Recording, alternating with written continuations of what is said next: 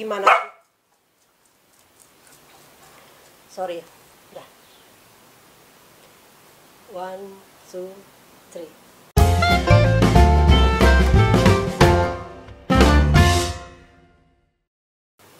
Hai, salam jumpa lagi bersama saya Dewi Gunawan.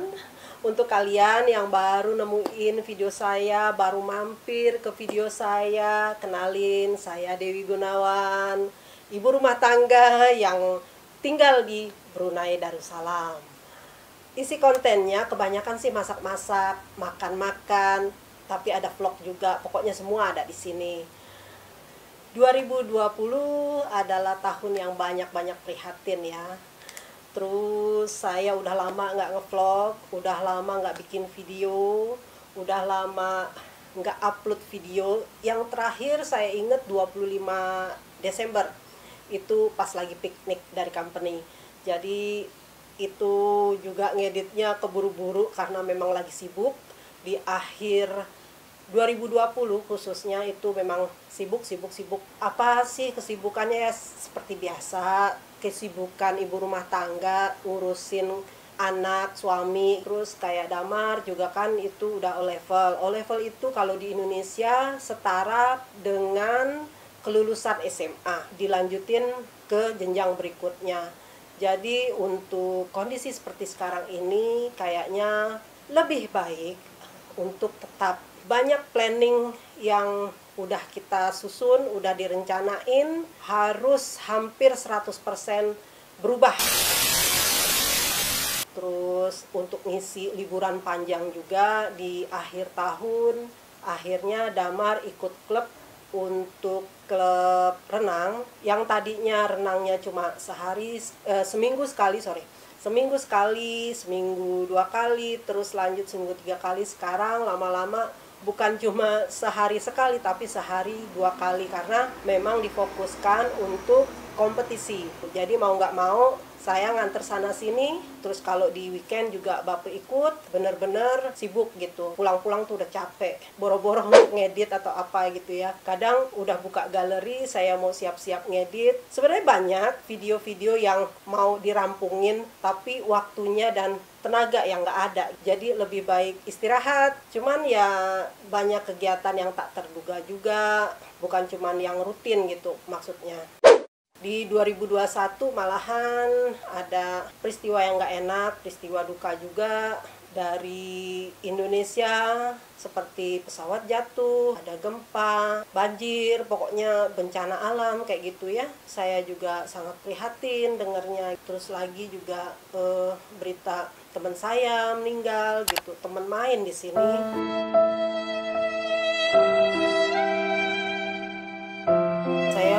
Menghormati beliau karena lebih senior ya gitu. Mendadak sekali.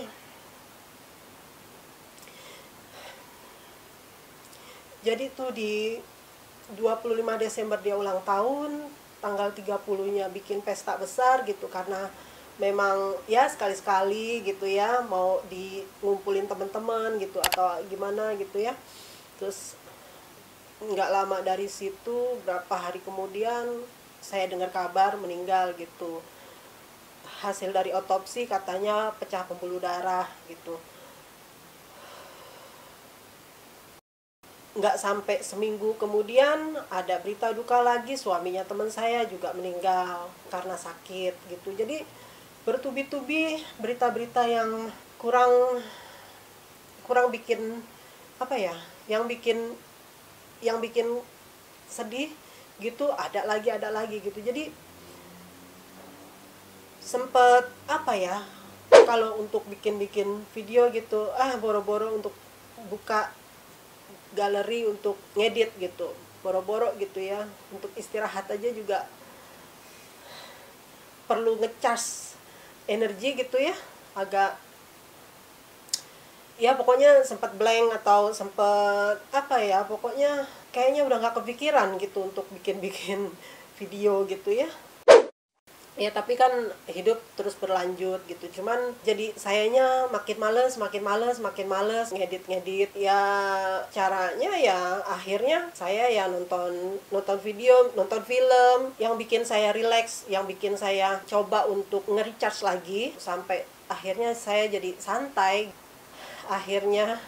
Padahal untuk bikin video ini aja ya eh, saya berulang-ulang nggak jadi nggak jadi nggak jadi. Kenapa? Karena waktu saya udah mulai mau bikin video ini pembukaan di 2021 ceritanya saya tuh udah setting ruangan setting kamera lampu ceritanya mau sehat lah gitu ya di 2021 tahu-tahu hujan nggak jadi. Besoknya saya oh nggak nggak. Pertama ada tamu terus tamu udah pulang mulai lagi. Settingannya masih ada maksudnya masih saya mau lanjutin tahu-tahu hujan. Kencang banget ada geluduk-geluduk. Saya mau lanjutin besokannya. Tahu-tahu besokannya baru saya mau mulai ini itu ini tuh temennya anak saya pada datang kumpul. Kan kalau udah kumpul namanya anak-anak ya suaranya kenceng banget. Ah udah deh cancel lagi. Udah gitu biasa kalau anak-anak kumpul biasanya tuh saya bikin makanan atau apa entah nasi goreng atau apa gitu ya. Dan ini hari ketiga. Hari ini cerah mudah-mudahan nggak ada halangan rintangan lagi untuk mulai lagi semangat baru lagi